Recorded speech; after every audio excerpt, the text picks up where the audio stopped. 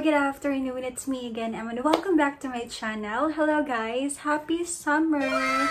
So yun guys, patagal-tagal na rin ako hindi nakapag-video kasi nga maraming ginagawa. So for today's video is I'm gonna be sharing you my experience in using this item. So ito guys, nakita ko siya Matagal na, nung binagrade ni Darla si Catherine Bernardo. So, alam kong matagal na to siya, but hinahanap, but hinanap ko talaga siya, guys. But then, hindi ko siya mahanap. But then, thankfully, siguro mga last ano, last month lang, nung, di ba may Lazada sale siya. So, nakita ko siya sa Watson, sa official store nila sa Watson, sa Lazada. So, nakita ko to guys. The, the item that I am talking about is itong fashion tape um, by Pretty Secret. Ito guys. So, murang-mura lang to siya. It's 79 pesos and it has 20 strips.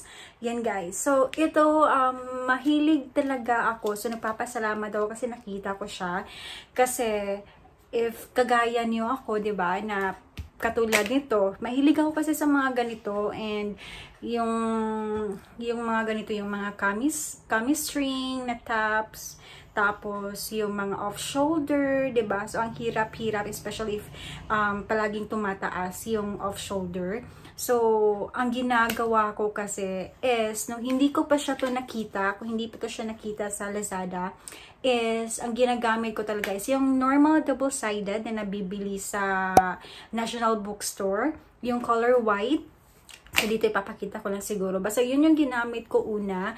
But then, napapansin ko is hindi siya um, dumikit. Hindi siya dumikit talaga sa fabric kasi it's not fabric tape kasi. So, yun yung mahirap.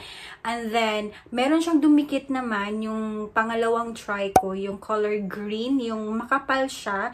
But, I think yung color green siya, yung makapal is para siyang pang um, para siya sa pang wall, yung whiteboard, mga ganyan, sa office, yung ginagamit. So, yun yung nakita ko. So, trinay ko siya. So, yun dumikit siya, guys. Ang problema is, hindi siya natatanggal sa fabrics. So, ang hirap-hirap. And then, hanggang ngayon, siguro, hahanapin ko. Siguro, i-leave ko dito if may clip siya na meron talaga. Hindi siya talaga siya natatanggal, guys. Ang hirap-hirap niyang tanggalin kasi sobrang dikit niya. So, yun yung mahirap.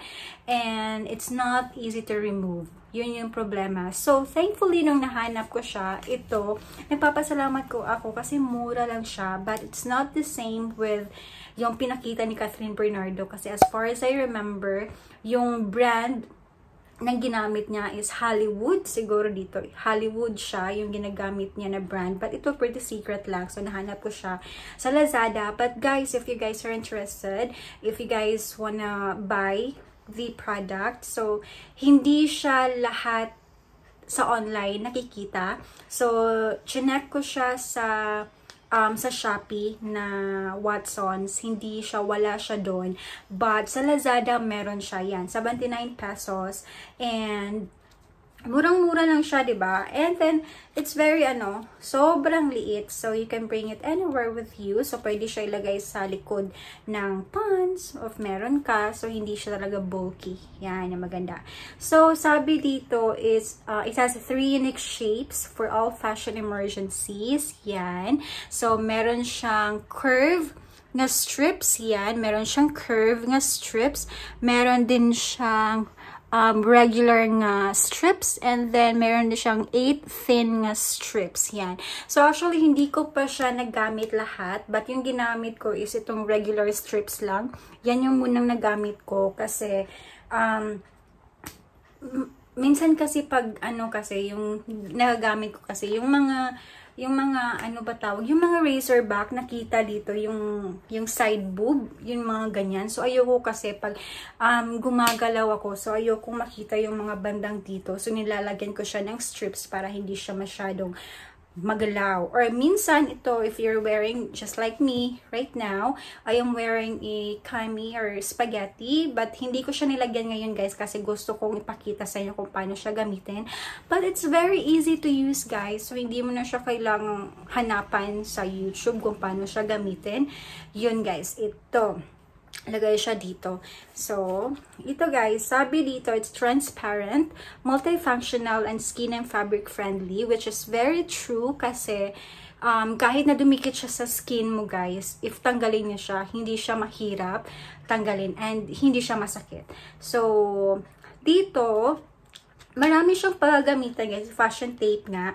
So, you can use it if you're wearing an off-shoulder, yung banda dito, para hindi siya masyadong mataas. Meron din siyang fashion hack, ba diba? Yung nilalagay ng garter dito, nilalagyan ng garter para hindi siya tumaas.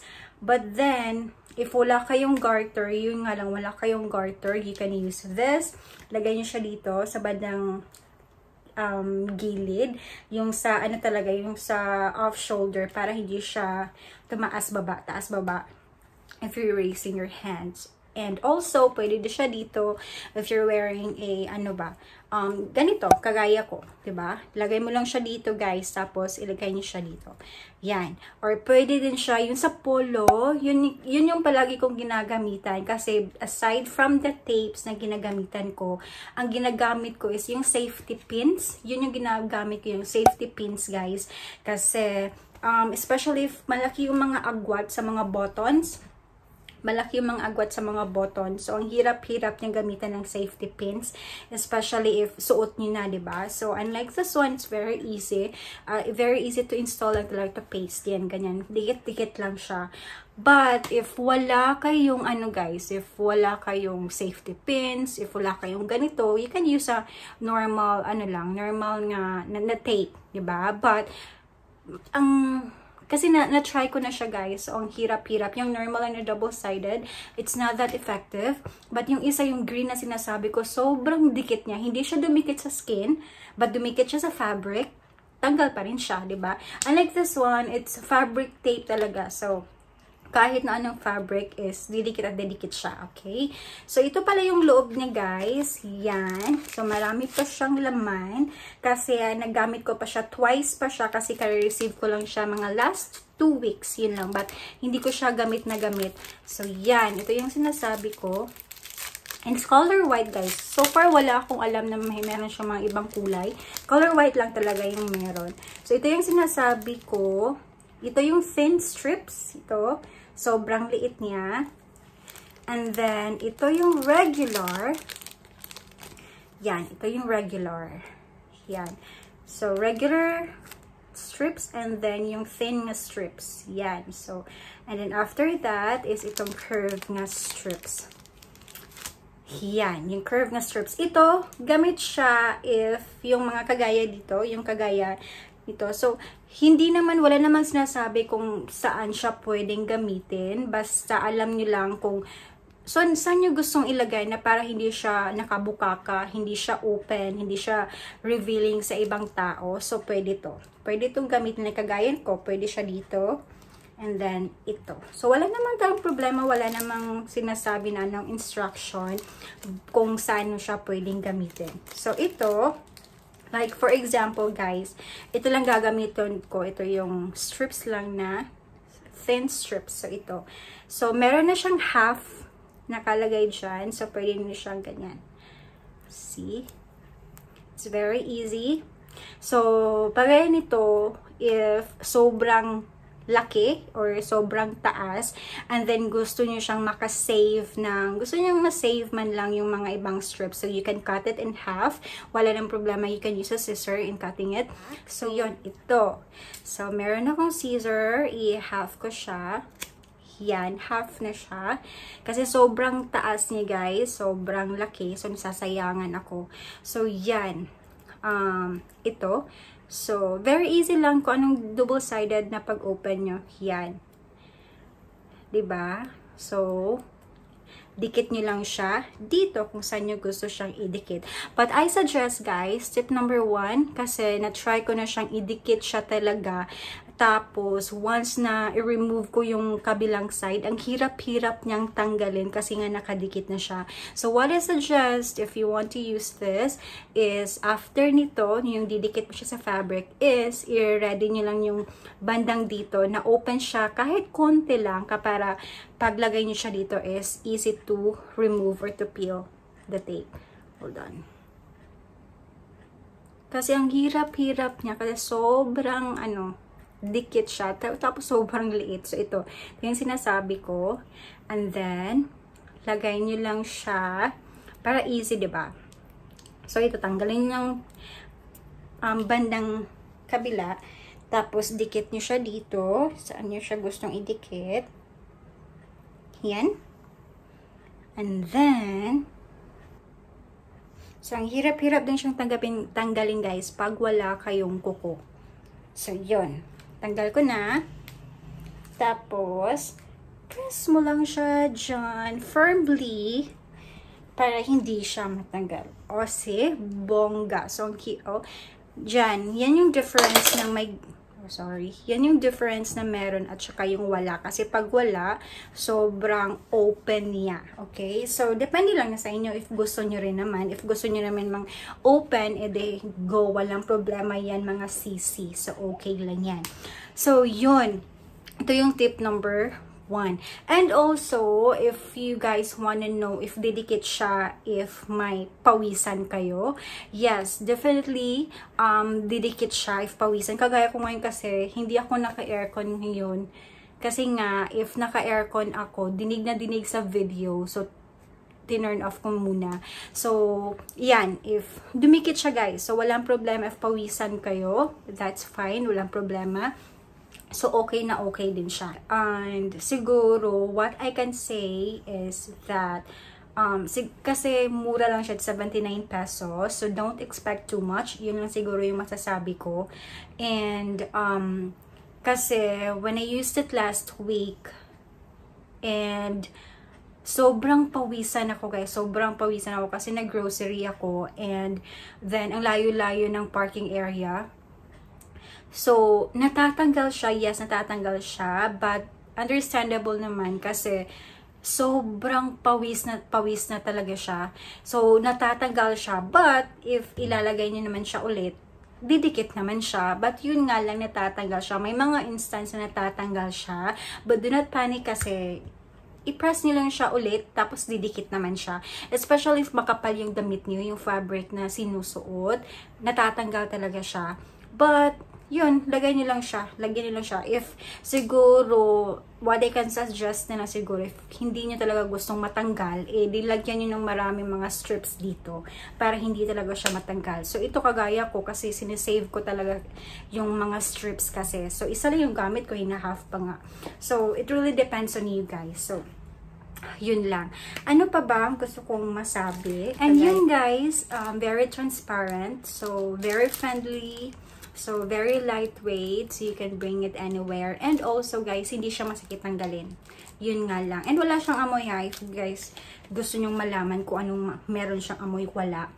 So, yun. And also, guys, gamit na gamit rin siya if alam niyo yung mga straps, especially if wala kayong strapless and then you decide to wear spaghetti or yung mga string na kagaya nito and then wala kayong strapless so yung meron kayo, so yung may mga strap lang pwede nyo siyang ilagay sa strap dito para hindi siya ano, hindi siya magalaw, hindi siya makita yung mga strap ng bra. So very ano talaga, para sa akin all around siya, pwede rin siyang gamitin sa pants if gusto niyo namang ano, if sobrang taas ng pants, tapos gusto niyo siyang, ano, i-fold, and then, ayun yung, ano, bumalik siya sa dati, so you can use it para hindi siya matanggal sa pagka-fold. So, all around talaga siya. So, magagamit siya kahit saan mo gustong gamitin. So, yun lang guys. It's very helpful. It's very useful for me. Kasi, especially ako, sobrang pitit kong taon tapos nakikita yung mga bandang dito. So, ayokong ayokong makita yung mga dito. So, nilagyan ko siya dito or dito. So, yan guys. It's very helpful. So, I hope nakatulong to kahit na konting fashion hack lang naman ito, ba? So nai alam ko siguro alam niyo na to, but gusto ko lang siyang i-share sa mga taong hindi pa naka-try nito. At naghahanap pa, 'di ba, kung anong solusyon sa pag nakikita yung mga ito. So you can try it. You can buy it sa ano guys, sa Lazada, sa Watson's official store nila meron doon. And hindi ko ko siya nakita sa Shopee, sa Lazada ko lang siya nabibili for only 79 pesos. So, check nyo lang siya. So, yun guys, I hope nagustuhan niyo. So, I hope to see you guys next one. Iba naman na product ang i-review ko or i-share ko sa inyo. So, yun guys, I hope nagustuhan niyo. Please don't forget to like and subscribe or you can leave a comment in the comment section kung anong gusto kung, kung gusto niyo gawin ko, okay? And, yun guys, I hope na-enjoy kayo. Kasi nag-enjoy akong i-share ko sa inyo yung experience ko nito. And I hope to see you guys on my next one. Bye!